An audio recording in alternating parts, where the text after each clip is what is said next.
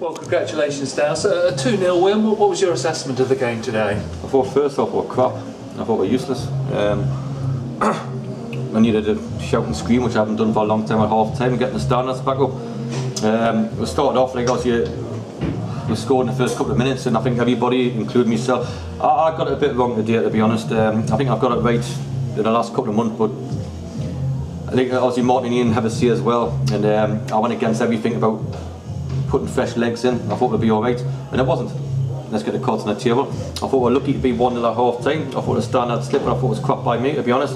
Um, the place was like a morgue, and it would be if we're not pressing and we're not squeezing and we're not doing it. So I feel as though I got it wrong today a bit, to be honest. I thought it livened up the second half a bit and ended up being comfortable in the second half. Um, but we've got to be, we've got to liven things up a little bit by players. But I didn't get that right before kick off, and I'm the first one I admit it if I make mistakes myself. Um, uh, if I can give a bit more, and the staff and players can and support us can, I think as well. Because it's very quiet here today, and um, I know this year you know, we've got to give them something to shout about, and I've got that. I really have. But we have done the first couple of weeks, and it, this place will be rocking, and the supporters will make a hell of a difference to it. And I hope we come in numbers against Hampton, because you can, we, we won with a game at Swindon. We've also helped along the ways. I just thought was a, the players were quiet, the supporters were quiet, and I've got it wrong. So it's not a great combination.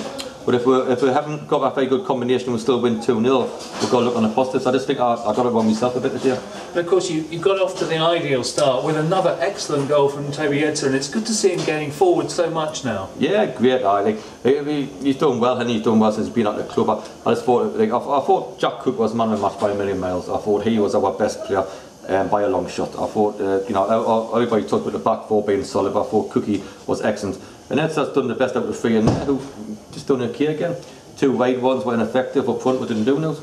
But we look and see how many games we've had, and I'm trying to wind everybody up by saying just play matches, don't be injured, don't read what you see on the telly and, and all that. I just think I should have probably, you know, uh, I, I can't be quite stubborn. I can't be quite, this is how we do things. And to be honest, Martin and Ian, um, we were telling beforehand that we would have shaken things up a little bit, but I said no, we'll not. I've got to take out responsibility, it was my call, and um, I thought I was, a, even though I won the game 2-0, I thought we were fairly lucky to come in at 1-0, so I, I've got away with that one to be honest, I've just got to make sure I get it right for, um, for New Year's Day. And you mentioned Jack Cook, I mean, when he first started, I think it's fair to say he had a, not the best of starts, but since you brought in Gehring alongside him, he, it's really improved him, hasn't it? It has, he's been excellent Cookie, um, I think he's been getting better and better as a player. Um, I've always thought he's a good player because he's got everything the centre half wants. One thing I just said to them earlier on the season is you've been having good games but making mistakes. If you get your mistakes out you, as a back four player, you've got a chance after in the back four in my career. And um, one thing I didn't do was make that many mistakes, and that's why I made a career. And you can career by just doing the basics. Do the basics, hit it and kick it and give it to somebody who can play. And we have got players now team who can play. So, uh, you know, but again, like I say, I thought uh, the two way ones were lethargic and never really got behind them like we have done. But listen, since the Swindon game, you know, uh, Ian was saying we've won by fours, we've won by threes, we're, you know, in the league we've done very, very well. Um, so today has just proved that, you know, we have had a bad day at the office-ish. I've had a little bit of a bad day at the office-ish, uh, so, but you still win 2-0, so hopefully that's the same a good side, and then onwards and upwards. And of course another clean sheet, which Aye. must be pleasing. Oh no, definitely. I, you know, we looked a bit dodgy in the first half, we should have scored, and at one point it looked as though Craig had, um, you know, a ball serve in his hands, didn't he? He couldn't catch the ball, and it fell in there.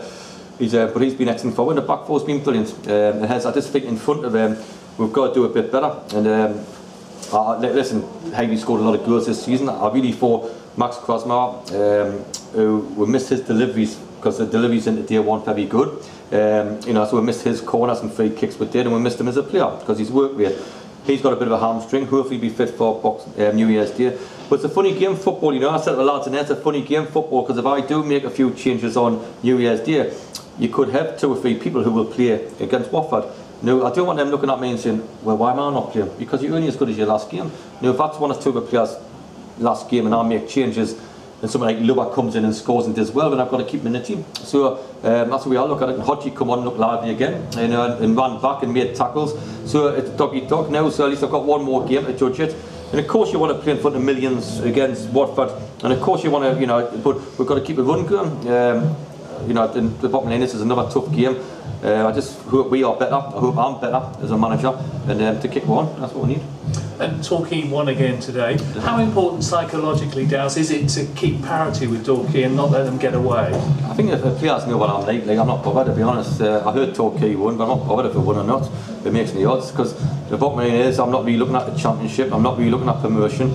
I'm not looking at Watford. But what I am looking about is the Hampton game and getting three points.